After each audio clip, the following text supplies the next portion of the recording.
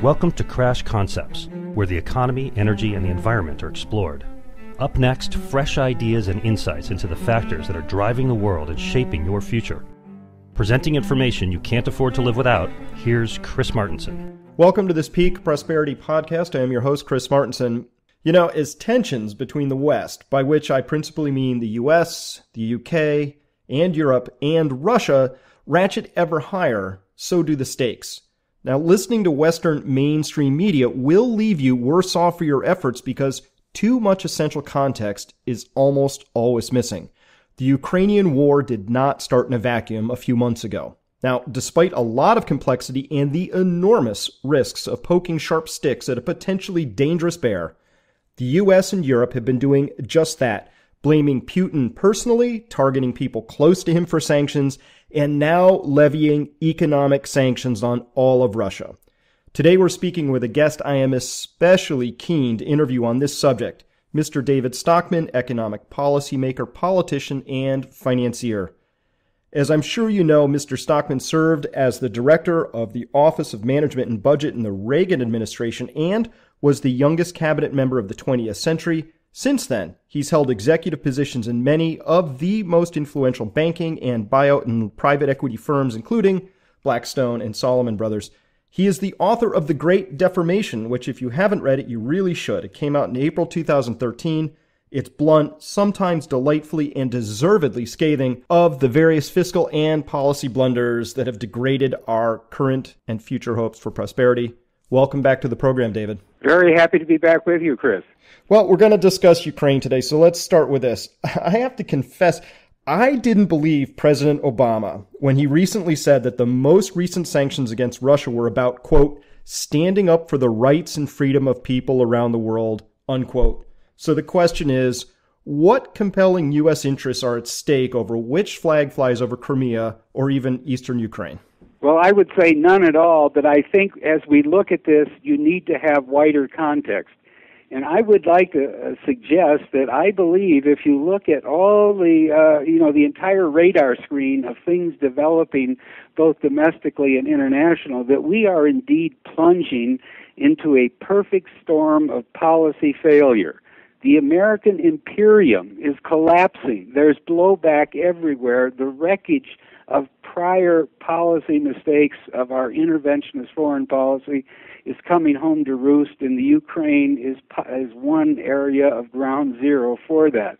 But secondly, monetary central planning uh, is now coming uh, to a dead end. It has inflated the third financial bubble of this century, and the Fed is now clueless as to uh, how it manages to unwind this massive balance sheet expansion that's uh, been undertaken. And third, the fiscal doomsday machine continues to crank on. Washington is ignoring the fact that we're six years into a business cycle expansion and we're still running massive deficits and there's no cushion for the next uh, you know upset that comes to the economy. Now, why is all this important? Because I think the foreign policy failures, uh, uh, the collapse of the American imperium, imperium as I call it, uh, is at the center of this, and it will push all of these things in the wrong direction. Uh, we are now becoming much more aggressive in our foreign policy than ever before. We can't afford it by any means, and the potential for this to uh, create black swans, to roil or dislocate these very fragile financial markets that have been created by uh, this massive central bank uh, uh, balance sheet expansion uh, and liquidity uh, provision uh, makes what's happening in the Ukraine or what's happening in the Middle East on the Gaza or in the collapse of Iraq even more dangerous in terms of what it could trigger. So we're we're in a real pickle here, and I think it's you know compounding by the day. I certainly agree, and, and there's extraordinary risks, and I want to get to those in a minute.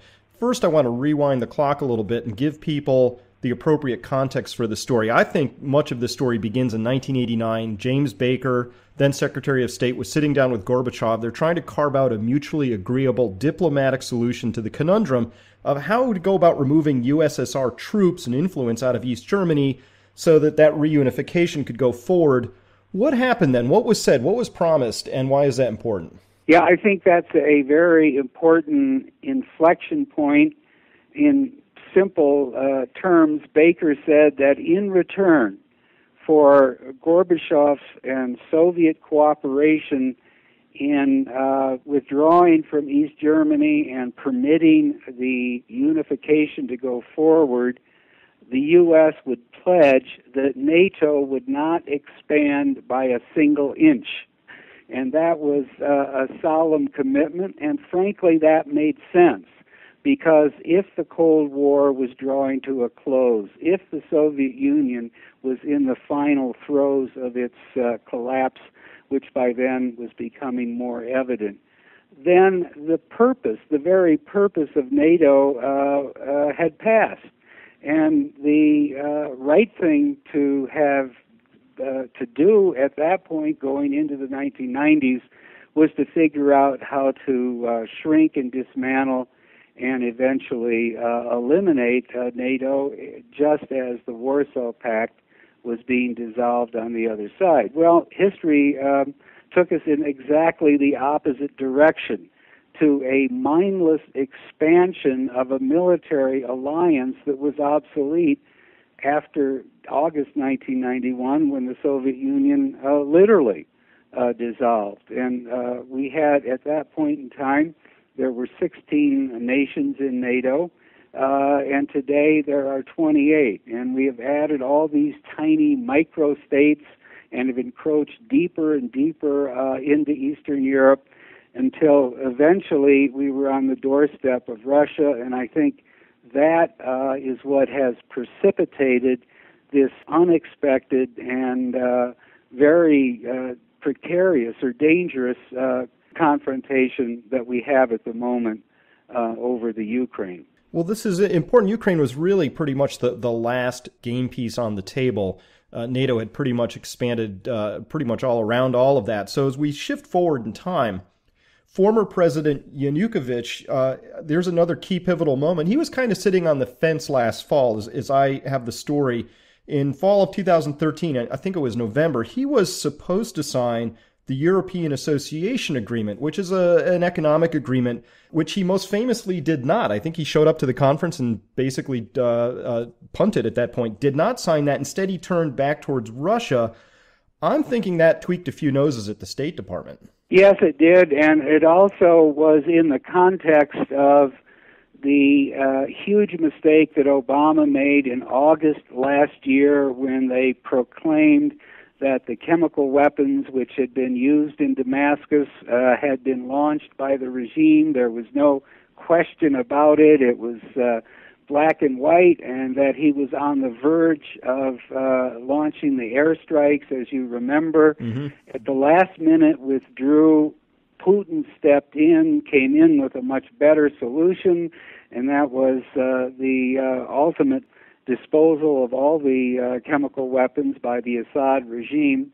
And I think that really stirred uh, the neocons and what you might call the uh, ex- expansionist foreign policy uh, network in Washington into action. And you can look at the uh, news uh, over the period after uh, Obama was forced to retreat, and it was a good thing that he did. It would have been, you know, a total mistake uh, to start lobbing bombs into Syria, a situation that's uh, totally combustible and unstable, and really none of our business.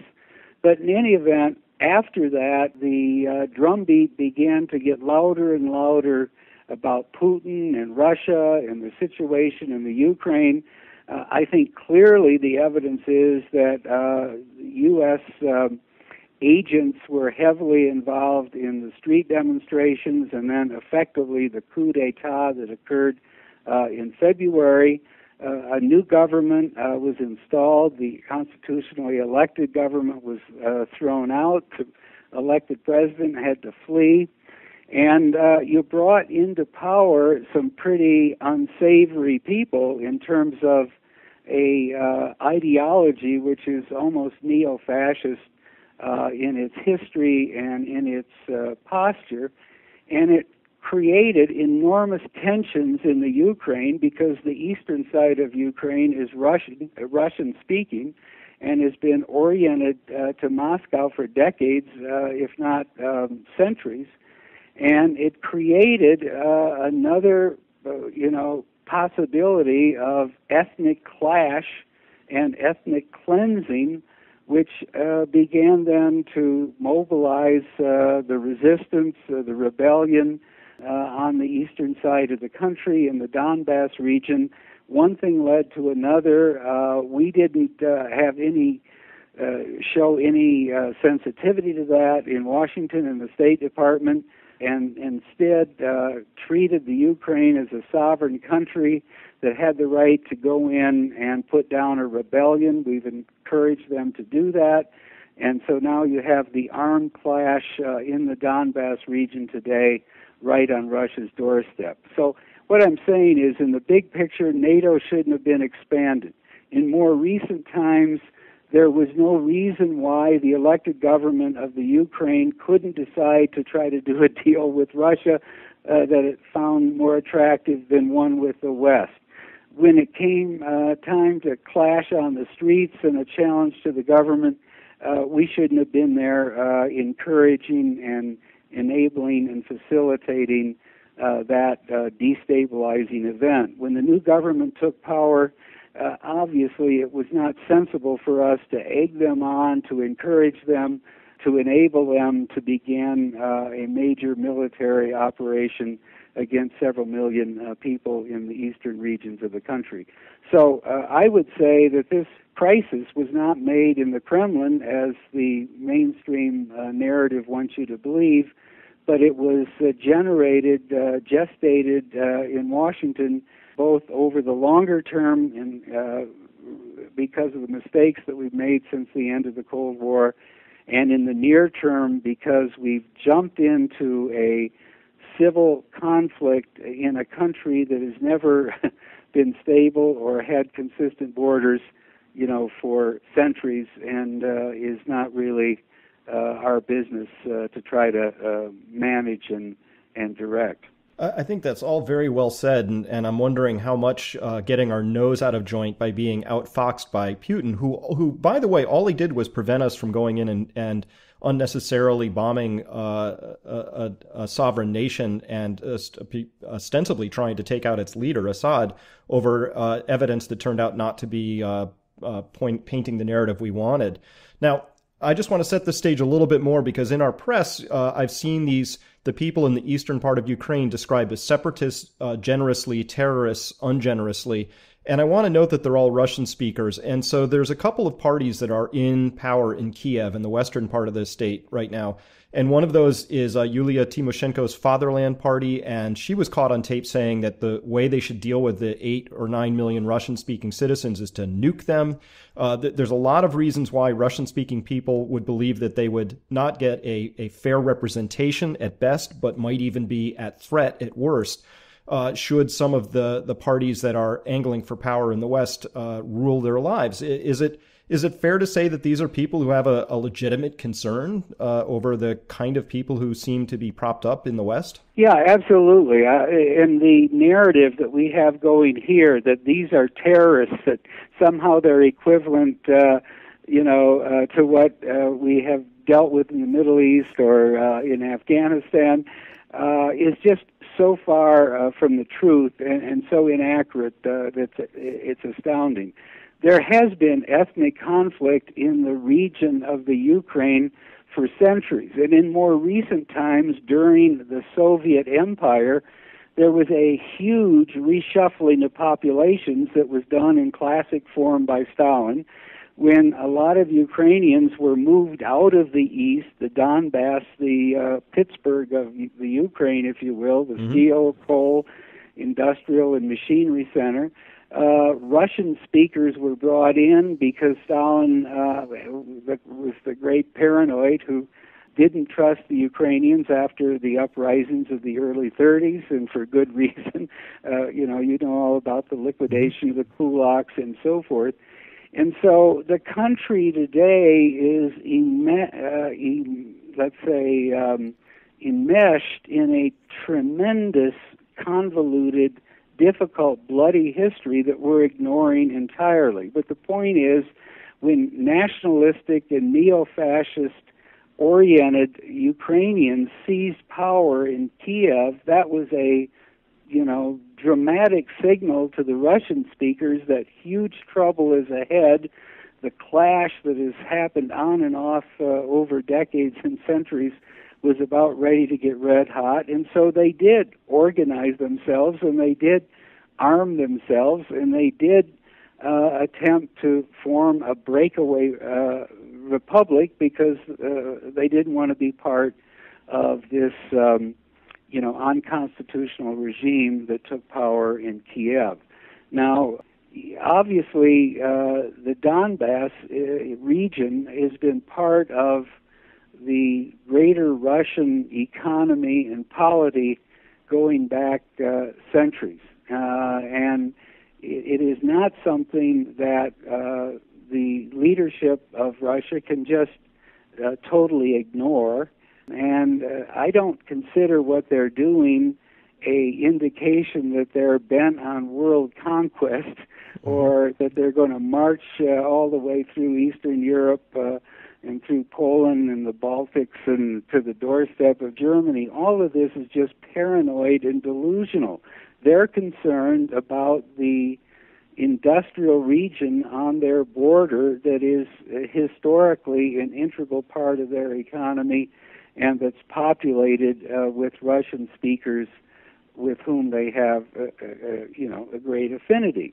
And they are extremely nervous about the agitation of Washington and the West uh, in uh, Kiev and the machinations uh, of the new government and uh, you know it's all uh, pretty uh, understandable and plausible if you just sort out the facts and look at a little history which uh, you know today the Obama administration and the leadership of the western uh, uh, European countries just can't seem to do oh david it's such a, a breath of fresh air to be talking with you about this because uh, it, it's it, this is all information. It's all facts. There's some context here that's really important, and this brings us more or less to the present moment. So we had this tragic situation with Flight 17 being shot down. The initial knee jerk reactions of John Kerry, Obama, Hillary Clinton, others in the State Department, our UN representative, uh, and others were that Flight 17, that incident was all Putin's fault, which was swiftly followed by a complete lack of evidence that has not yet been made available. So uh, here's the question Am I wrong in assuming that if the United States had the sort of evidence that supported the current narrative, we would have released it by now?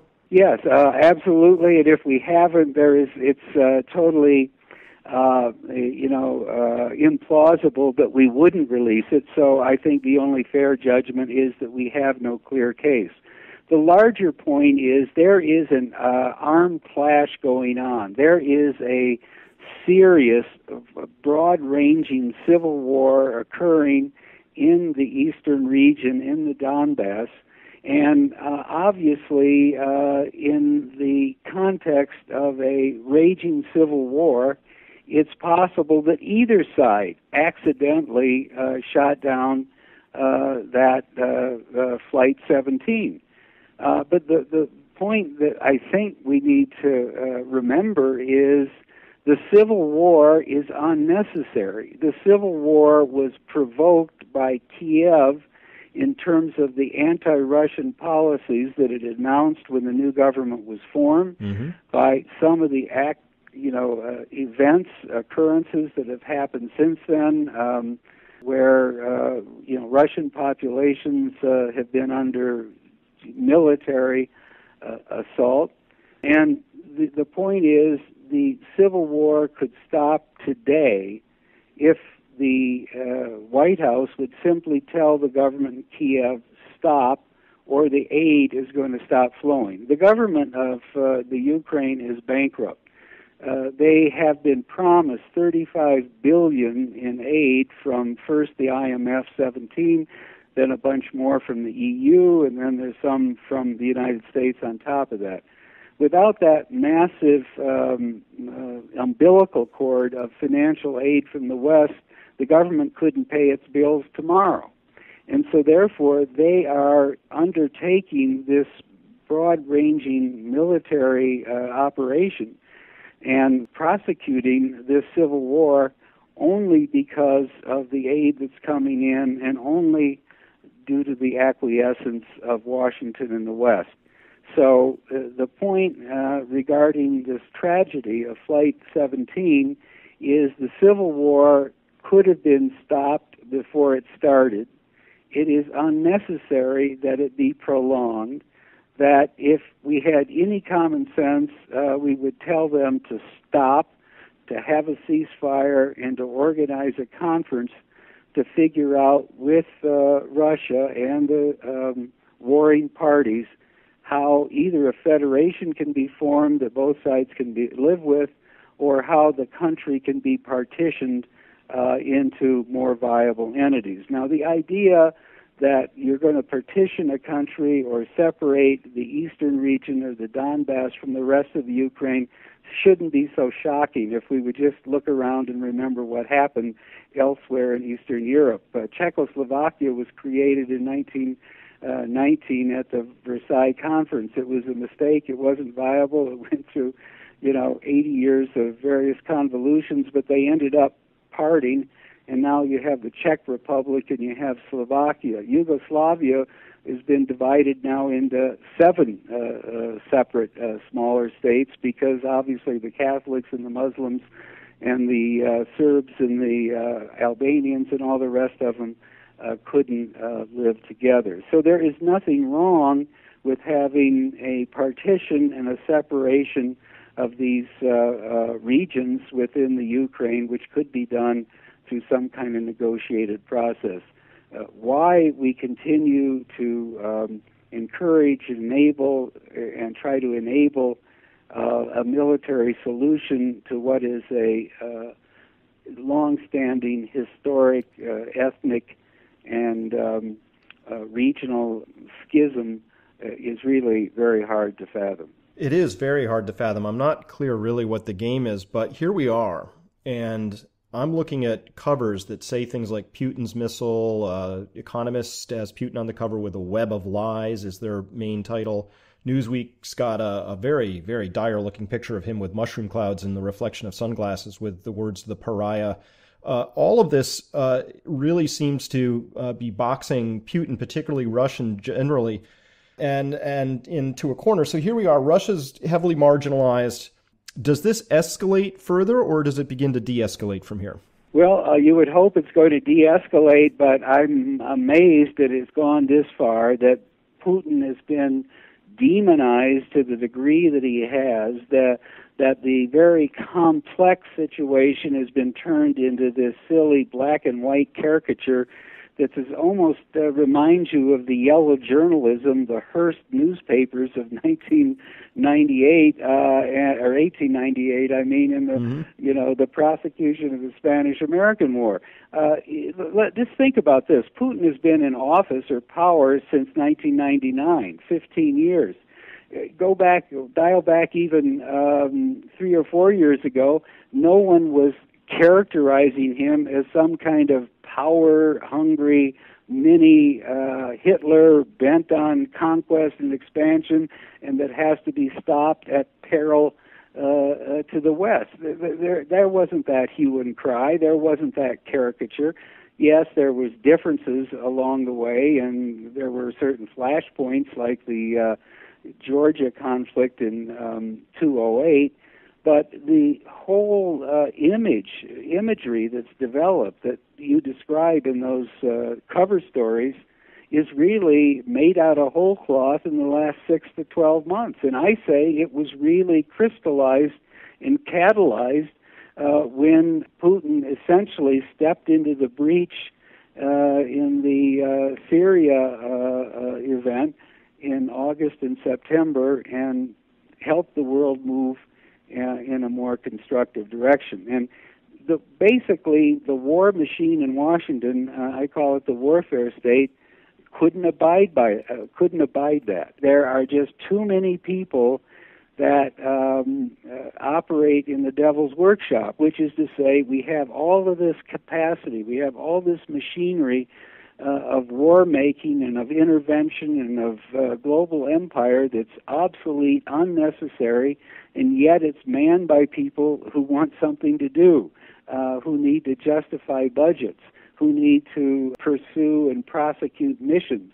And that's what I think uh, is happening at the present time. It's just the warfare state machinery uh, has gotten itself uh, activated into motion, and it's uh, drastically uh, simplifying the real facts that we face and creating a narrative that is, you know, uh, really preposterous uh, in terms of what our real national security, and what the safety and security of the American people really requires at the in this circumstance.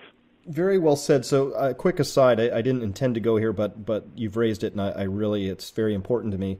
The fourth estate. What is? Where is our press? I, I thought after all the mea culpas, gosh, we were so badly misled uh, in the Iraq situation. Look, we we helped spin propaganda and lies out of the Office of Special Plans. Uh, you know, Feith Perle and Rumsfeld's special little uh, cook chamber there, where they came up with with falsified WMD information on Iraq. I thought after that that, that we might have seen a, a, bit more circumspection and maybe investigation on the part of, of journalists. I'm not seeing it. Not in the Washington Post, New York Times, none of them. They are just going straight out with the main narrative. Uh, do we have a fourth estate that's useful anymore in the mainstream press? Well, that's a great question, and I think it just reveals the degree of partisanship that uh, prevails uh, in the fourth estate, in the mainstream press, notwithstanding all of their uh, protestations uh, of uh, nonpartisanship and balanced, fair and balanced, and so forth. So what we have now is the conservative press, the Fox News, always looking for an opportunity to have a confrontation, to flex muscles, to mobilize the machinery of the warfare state. And so Putin makes for a wonderful new uh, target, uh, you know, of attack.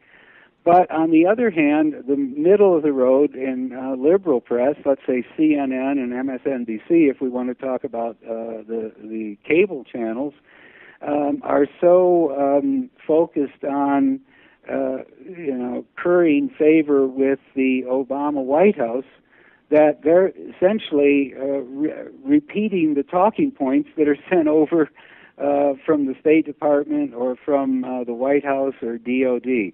They are literally rebroadcasting talking points and unwilling to challenge the uh, incumbent administration.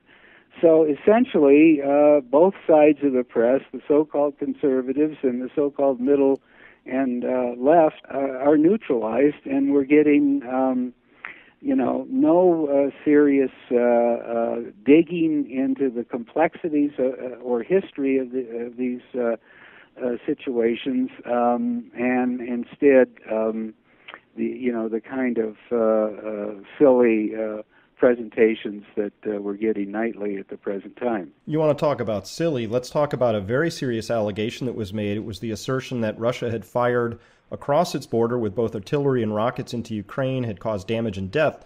That's a very serious allegation, and, and the substance for that allegation, which CNN repeated quite breathlessly for a number of days, was a series of images that came not from U.S. spy satellites or, or intelligence services. It came from a private company called Digital Globe, and it was a couple of images, so we don't know the actual timing or provenance of those, and they were tweeted out across Geoffrey Pyatt's uh, Twitter account. He, the the uh, yeah, ambassador the ambassador to the Ukraine, right? Right, I, exactly. Didn't we use? And them? besides that, if you looked at them, uh, they they were indecipherable. In other words, they were they were uh, essentially cartoon caricatures with showing big arrows coming from one fuzzy spot on uh, uh, on the uh, picture uh, to the other, and and who knows when, uh, what point in time uh, those were taken, what really was on either end of those arrows. I think it's a lot of nonsense.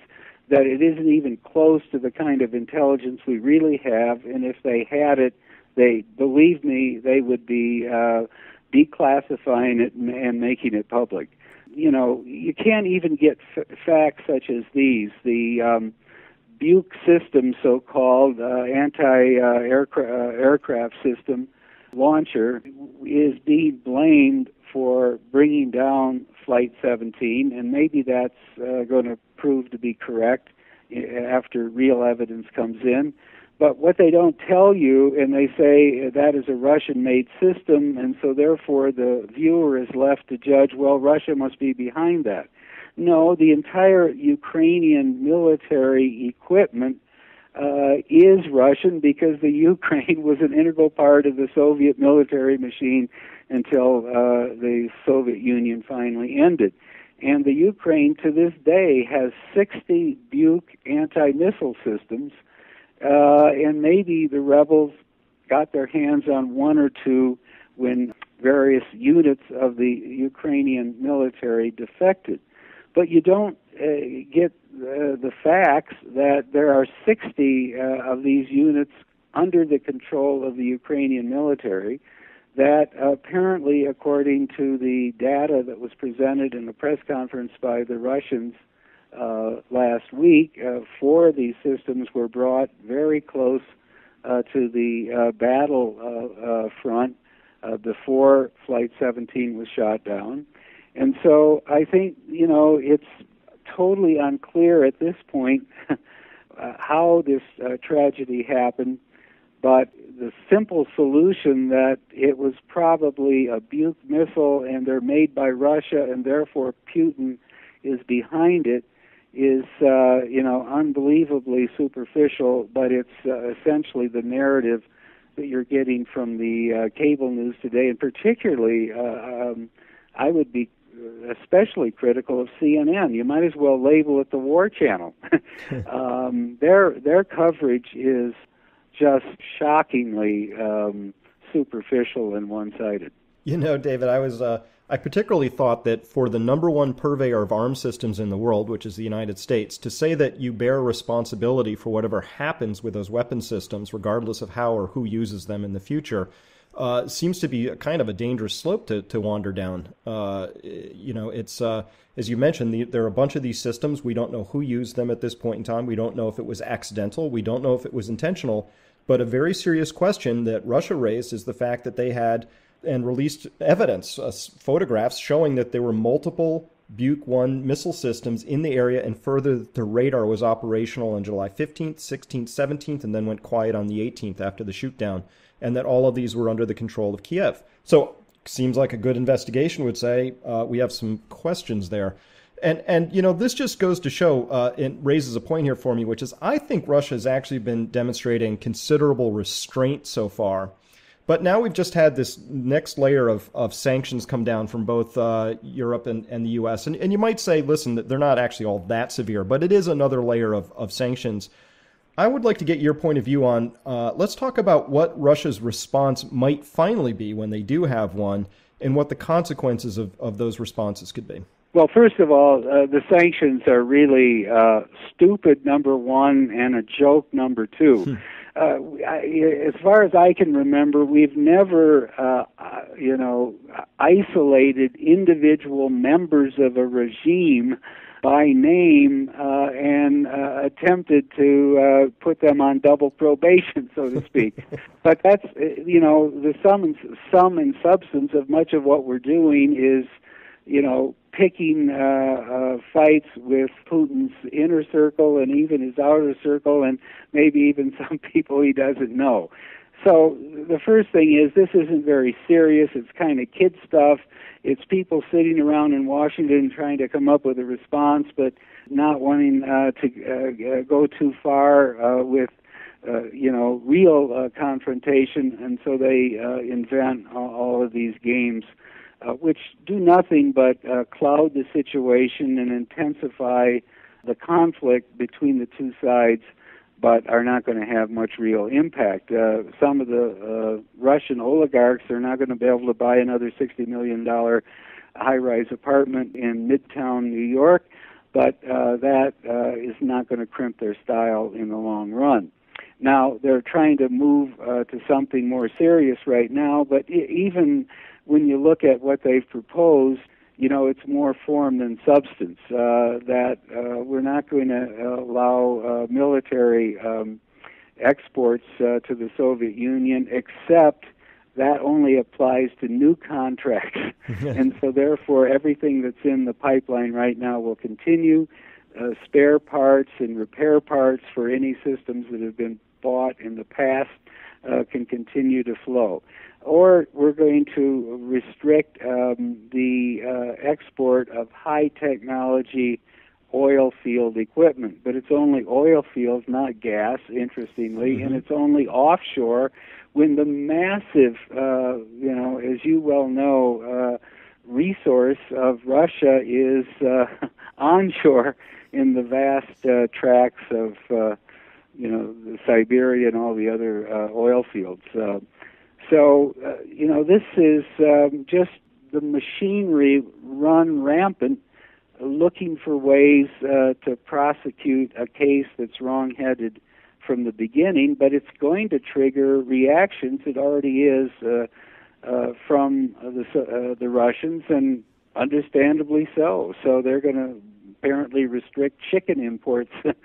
uh, from the United States, and we'll have the chicken wars going again. Um, I don't think any of this re- represents the work of adults. I think it's uh, sort of juvenile delinquency uh, uh, run run loose uh, in the in the corridors of Washington D.C. It feels petulant to me too. It does not feel of the of the statesmanship of a George Kennan uh, or or James Baker, who understood that diplomacy is about interests that are being balanced against consequences, and that there's history both before and after uh, this moment in time. It feels rather like we want our way, we want it now. The confusing part to me that perhaps you can shed some light on is is the degree to which Europe has been following along, they have the most to lose in this story. You know, uh, of course, just because if, if somehow war or sanctions lead to the loss of gas flows, natural gas from Russia, Europe's in a world of hurt. Why do you think they're they're uh, really hewing to the U.S. policy at this point in time? Well, I think they've been very reluctant uh, co-participants in this. They have been until Flight 17, um, uh, dragging their feet but I think uh, the emotional impact on the publics in Europe when this flight went down, and you know it was mainly Europeans who were on the flight, uh, has allowed politicians to become a little more aggressive and a little bolder, and therefore more willing uh, for the short run and for the moment to acquiesce to the demands from Washington for uh, uh, escalating an, and escalating level of uh, economic sanctions. But this is all in the immediate, you know, emotional aftermath of this uh, airline uh, tragedy. And one, I'm not sure how long that will last. Secondly, it's clear that what the Europeans are doing is so riddled with loopholes that that will become uh, increasingly evident uh, as regulations are written and more facts uh, come to the surface. But third, the European economy is in a very fragile state, as uh, we all know, and this could be just uh, a, a trigger, a, a catalyst to tip it over into a new relapse uh, in, into recession. Uh, obviously, before any of this really heated up, the German central bank was saying that uh, the German economy is basically going to flatline in the second quarter. Italy uh, is going to be negative. Spain is barely creeping along.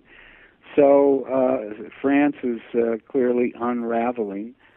So therefore, it comes at a very delicate moment economically that has all kinds of ramifications that we could get into, in, in, including calling Draghi's bluff on the on the whatever it takes quote. Because mm-hmm. if the economy relapses again as a result of uh, the you know the uh, events uh, that are occurring on the Ukrainian front, what is he going to do? Is he really going to try to do uh, QE proper? And if so, is the Bundesbank going to acquiesce? I mean, there are huge questions here.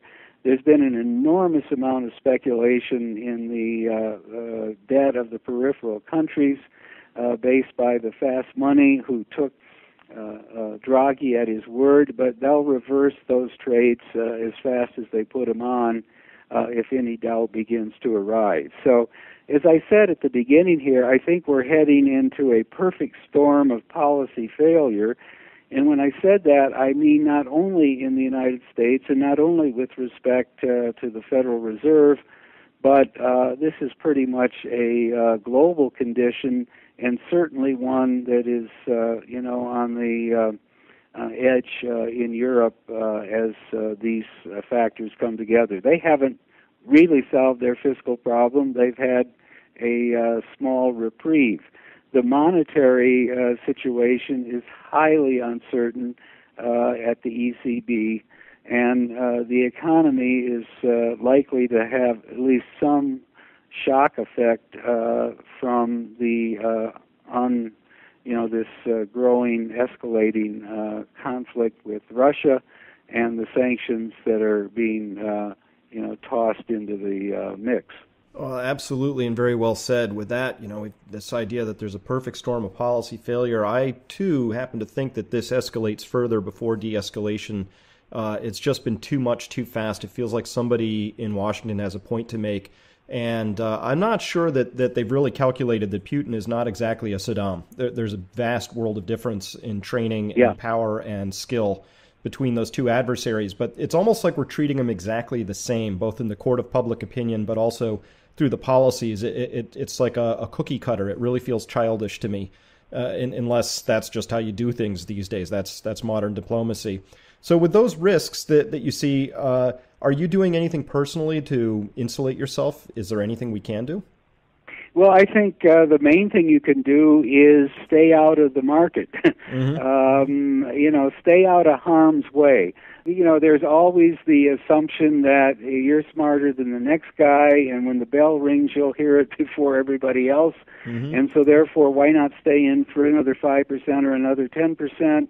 Or why not uh, put on the carry trade and take the yield on the bond and fund it?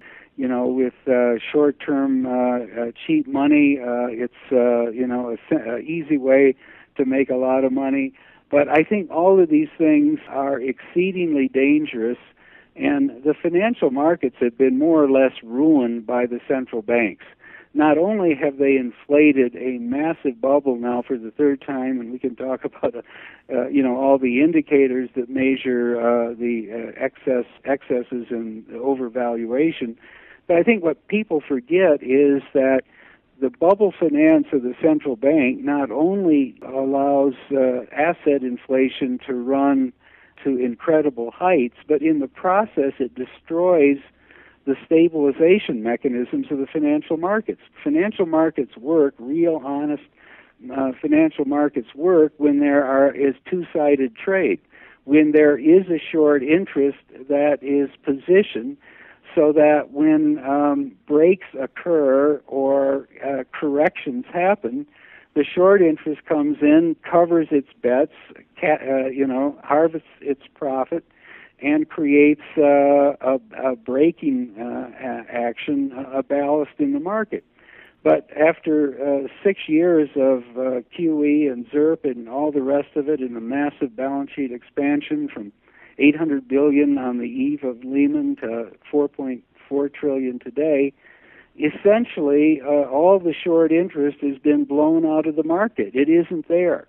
And so, there, therefore, this market is far more fragile in its internals than it would appear uh, from you know day-to-day observation. And if the break ever comes, the black swan hits from wherever, uh, and the market takes more than um, a serious, more than a uh, superficial dip that you know the fast money keeps buying, but takes a significant break, then I think the real damage that's been done by the central banks will become quickly apparent when there are no bids on the way down, when there are no short uh, players to cover their bets because they've all been driven out of the market. So there's a lot of evils that have come from what I call monetary central planning, but I think one of the greatest is that it's destroyed two way trade and it's destroyed the natural ballast uh, braking and stabilization mechanisms that exist in honest markets. Absolutely, and if it hasn't destroyed, it's certainly heavily distorted the pricing of risk. Uh, I, right. You know, you, you, mentioned what are your favorite indicators. Mine is I just look at what, what is what are junk bonds being priced at, and, and what's the issuance right. level, and what are the covenant light loans that are going out the door. And by those measures, we're just off the charts. We, we've never been yes. in more dangerous territory ever. Yes, I mean, if you look at any of those measures, what percentage uh, percentage of uh, the new uh, high yield credit is covenant light uh, compared to 207? It's much higher today. The rate of CLO creation, which is you know just another way of uh, forming uh, uh, uh, you know speculation vehicles in the uh, uh, levered loan market, again. Um, the, the run rate of CLO issuance is even much higher than it was at the bubble peak in 2007.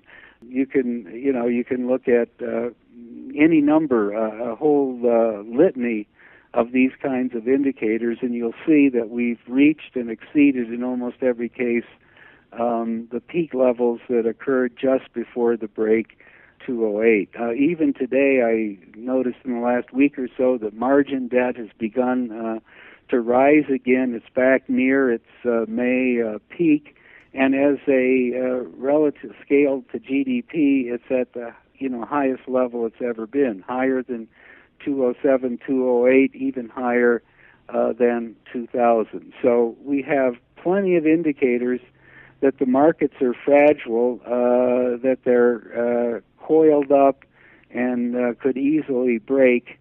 But um, somehow we're assured by uh, Janet Yellen that um, markets are normally valued in in most uh, cases, which you know clearly is uh, dead wrong. I, this is a huge area we don't have time to go into, but I'm really glad you brought it up because when you're talking about a perfect storm of policy failure it's not sufficient just to note that we've got some geopolitical policy failures that, that we're about to, uh, maybe those chickens are coming home to roost, but at the same time, we're at the tail end of probably one of the most ill conceived and expansionary monetary policies that the Fed, frankly, doesn't know how they're going to get out of. If you ask me today, or I think anybody, no matter how sophisticated, how is the Fed going to unwind its balance sheet?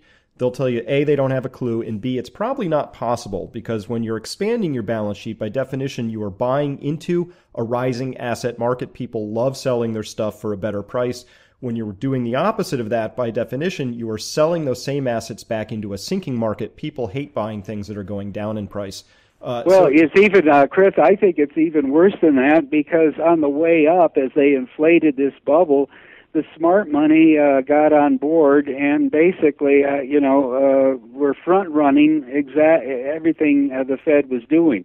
So if once they became confident that the 85 billion a month of bond buying was going to stabilize, if not uh, uh, enhance uh, the price of the bond, and they could buy it on 98% repo leverage uh, at zero carry cost, they uh, you know jumped in uh, hammer and tong, and so uh, the Fed then uh, had this magnetic force working with it, which is uh, the fast uh, money in the market uh, attempting uh, to uh, front run. Uh, the direction of Fed policy. But just think what happens if they actually begin to allow interest rates to rise or would begin to uh, attempt through one mechanism or another to shrink their balance sheet. The fast money will get on the other side of the trade just as fast as it, uh, you know, uh, rode the bubble expansion to the top, and they will sell what they think the Fed is selling, and that will cause a massive unwind of the greatest overvalued uh, market bubble in the world, which is uh, the government bond market. Well, what do we do here then? If is the is the Fed is clearly trapped, they own that balance sheet for for its duration, which is I think forever. Is is that what you're saying, or or is there some other? Yeah, I, I think that, you know they of course they're now re- inventing rationalizations as to why they won't have to shrink it. If you remember when QE mm-hmm. experiment was just getting started, there was plenty of reassurances from Bernanke and the other Fed speakers, don't worry, we'll know when the time has come uh, to change direction, and we'll uh, come up with the ways and means and mechanisms uh, to shrink the balance sheet back to a more normal uh, level. They're not saying that now. In fact, more and more you're hearing uh, from Dudley and some other uh, others who are the real uh, strategists uh, in this uh, uh, cabal uh, cabal um, that well we don't really have to shrink it. We can just grow out of it over the next decade or two. But what that means is that they have out and out monetized in the order of 3.5 trillion dollars worth of government debt for literally no purpose. It caused a financial bubble that's going to break, and so that wasn't permanent. And it obviously did almost nothing for Main Street because I say the 1 to 2% growth we've had is just the natural regenerative forces of private market capitalism working anyway. So they're going to have a hard thing to explain, and that is why did they monetize $3.5 trillion worth of debt? and allow the politicians in Washington to get off the hook, kick the can down the road, and allow the fiscal situation to uh, to continue to fester and uh, drift uh, towards the wall. And that's the other point that I think I started out with: the fiscal doomsday machine. Nothing has been done. Uh, the next time we get a recession and the deficit, you know, soars to two trillion or more, you know, we're going to be uh, in a very uh, hard way, obviously. This all has to be information that Putin is working with, and also China. They all know that we're in an unsustainable fiscal situation in the West. So let, let me let me toss Japan into this story for a minute. So that's uh, UK, EU, US, Japan, and we're in a, a fiscal situation which is not even working after trillions and trillions and trillions have been expended, and this recovery is as good as it's going to get. But you're saying that when we get into the next down leg, uh, these uh, the the expenditure deficits explode all over again, and at that point in time, what options do we have left? Well, uh, I think you're going. There'll be few and far between, uh, in a word. So we're delaying the day of reckoning, which means the day of reckoning, when it comes, is going to be uh, even more painful and traumatic, uh, disruptive, and dangerous. I, I think uh, when you reach that point, um, it's going to be hard to keep monetizing uh, the the government debt because the, you will reach a point where there's a, a loss of confidence in the central banks, and the only reason they've gotten away with this is that the trauma happened quickly in, late 2008 they went to a radical expansionary policy which stabilized and then reinflated the financial markets. That led at least uh, Wall Street in Washington to conclude uh, that the crisis had passed. And, uh, you know, the central banks were the heroes. When this bubble collapses, they're going to be the bums. you know, they're going to be the villains. And once uh, that happens, I think it's going to be very hard for them to pull the same, uh, you know, monetary uh, trick uh, the second time around. So there's really, a, when you say a perfect storm of policy failure, there, there's what you're talking about are some very, very large trends that have been in play for a, a long time. I mean, obviously we've made mistakes from 2008 onwards, but to get to 2008 required a whole bunch of mistakes in the 90s. Uh, so and early 2000s. So so do you think this this is coming to roost this calendar year, 2014, next year? When do you see this sort of uh, really unfolding? I think we're it's in the next uh, two to three years. In other words, in the run up to the 2016 election. Um, it's going to become more and more evident that we have a non functional government in Washington uh, that we're in deep uh, trouble in our foreign policy as these uh, uh, hotspots uh, escalate. Uh, that the Fed, I think, is going to become more openly uh, divided and in uh, uh, overt conflict than ever before. And again, that is a new, that will be a new input uh, into the uh, you know financial market Wall Street environment. Uh, as long as uh, all the parents, uh, as long as the parents weren't fighting uh, in public, the kids were happy to believe. But once they start fighting in public, which you know I think is uh, going to happen as they uh, reach the point of raising interest rates, and then by how much. Um, uh, confidence is going to be undermined uh, on that front as well. Wow, you've given us a, a lot to think about, and uh, I do want to direct people to your website because you have excellent articles there. I, I, read some fantastic ones recently that you posted that you wrote and others that you're, you're collecting, so it's a really great place to go. How do people get there? Uh, it's just uh, uh David Stockman's Contra Corner. Um, and, uh, you know, once you uh, get to the site, you can Google it easily. Um, I have a uh, option for a email subscription, and then once a day, everything we've published uh, we send out in a simple uh, listed form, and uh, it's a very good way to keep up with, you know, what we're posting. Fantastic. Well, I advise people to do that because you have some really, really good articles there that have uh, helped me understand where we are and what's going on. And of course, context is everything. Information is the new money. And uh, right. I, I, really do hope that people uh, take advantage and, and follow you and other excellent sources that are out there. Because guess what? The mainstream media is really dropped the ball once again on us all. So, David, thank you so much for your time today. Very happy to uh, join you for the conversation. All right. Thank you.